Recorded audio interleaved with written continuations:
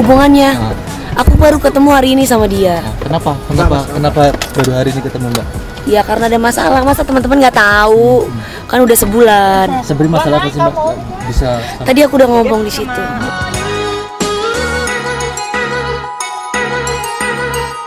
Gimana? Nggak bisa kita Ya, live loh. ya lagi live ya. Kuningan, juga. semuanya sudah baik-baik mas. Saya sudah minta maaf sama istri saya atas kesalahan saya semuanya.